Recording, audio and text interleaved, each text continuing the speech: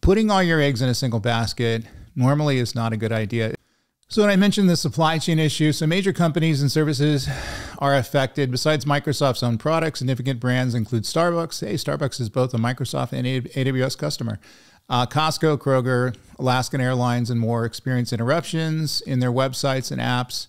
Uh, many users reported trouble logging in, making purchases, even checking in for flights. So, normal problems and disruption and dependencies on the cloud providers, you know, causes a cascading effect. You got to remember if there's a single component on any of these applications that these businesses are running that's running on the Microsoft infrastructure, running on the AWS infrastructure, and those things stop running, that single component not running could take down the entire system. The application is going to fail to pr- proceed. And we, you know, all have, uh, you know, understood how applications exist and are built and deployed and things like that.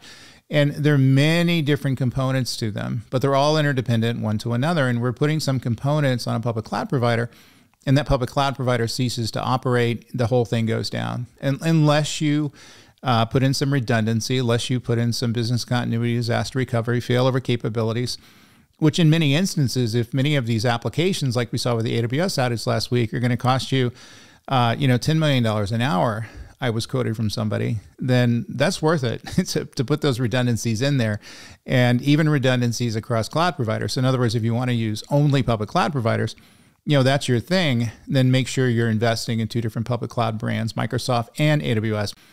Putting all your eggs in a single basket normally is not a good idea. It's just going to bring too much risk.